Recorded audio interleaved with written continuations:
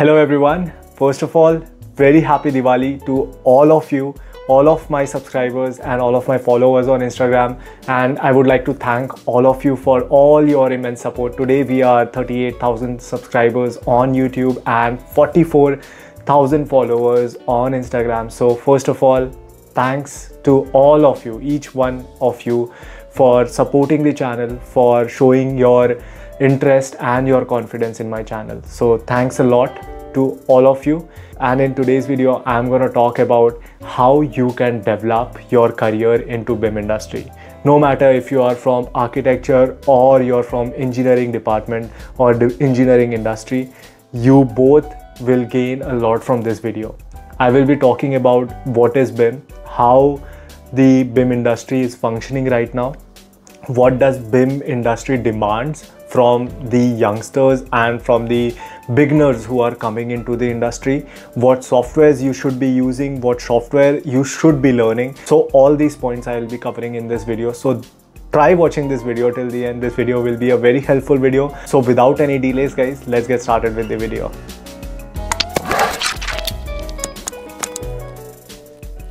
Point number one guys, uh, to start a career into BIM industry, you need to understand what BIM is. I have made video on what is BIM, at least two videos I have made prior to this, but I'll just explain you in short what is BIM. BIM is not just one software. BIM is not Revit. BIM is not ArchiCAD. BIM is a software or a group of softwares that enable you to embed a lot of information into your models. For example, you can make a wall in SketchUp, but that wall is just a wall or probably brick wall. But in Revit, Revit enables you to feed in data about the layers of that wall like plaster, paint, brick, mortar, all these things can be fed into that model itself. Even the thermal resistance, thermal barriers, all these data can be fed into Revit. And this is what BIM model is. BIM model basically is a model with a lot of information in it. Second point it enables you to collaborate. You can work with your consultant, electrical engineers, your mechanical engineers, civil engineers together on your architecture model without affecting your architecture model. So this is something that is very important for all of you to know that BIM is basically letting you collaborate with different parties and different entities. Second, you can simulate, simulate your construction data. You can schedule all your construction data. For example, if you have your walls, you can schedule all your walls, internal walls separately, exterior walls separately, all the data of the walls. Second, your doors, your windows, your roofing, your tiling, everything can be scheduled and timed based on your project construction. So this is something that is very important factor of BIM and it helps in reducing the construction cost, reducing the construction wastage, reducing the delay on site. So this is something that you all have to keep in mind what is BIM. And if you want a detailed video, I have already made a detailed video about BIM. Now let's talk about these softwares that are very important if you want to work in North America or even in India. These softwares are very common and everyone into BIM industry is using them but it doesn't mean that only these software can be used. First for architecture. Architecture, first of all, Revit is very important in India as well as in North America. What are families, how they function, how you can make a model, how you can schedule, how you can make analysis of your model.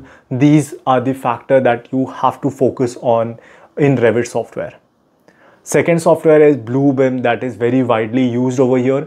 Basically, it's a PDF software, but this software enables you to read the drawings very accurately. You can measure your drawings. You can collaborate with different entities, owners and different stakeholders, even your engineering department. You can do markups. You can tell to your consultants or your engineers that this part is something off you have to do or you have to recheck or redo or something it can be collaborated on real time basis. So that is very important. Next software is naviswork. Naviswork is also very widely used over here. All the major firms are using naviswork to run clash detection. What Naviswork basically does is reads each and every entity of your model from lights, tables, chairs, ceiling, uh, your beam, column, your electrical MEP, everything. You can segregate it into two parts and run a clash detection. So for example, you are selecting beam and columns and you are selecting lighting fixtures and your HVAC, it will run a clash detection between them and you will get to know where they are intersecting or where they are getting to clash with each other. And you can resolve it before the construction begins on site and reduce a lot of cost of it. So these three softwares are very important. You should know them very thoroughly.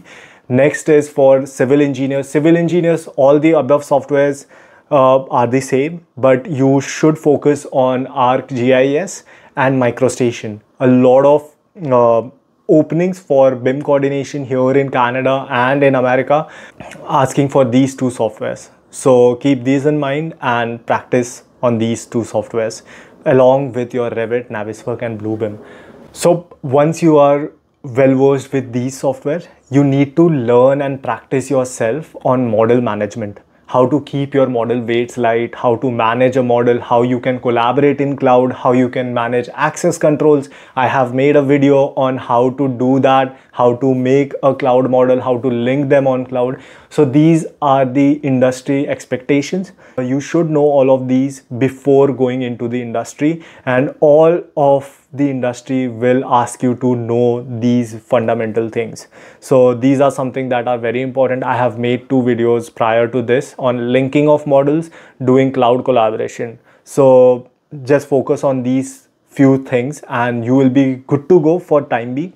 And uh, next is even BIM BXP. BXP is BIM execution plan. I have made a video, separate video on that as well. What are things are covered in a BIM execution plan. You should have knowledge about it, but BIM execution plan is developed office to office, workplace to workplace. So it will differ, but you should have the idea of what it is. So after you learn all of this, first entry level job that you can get into BIM industry is BIM modeling.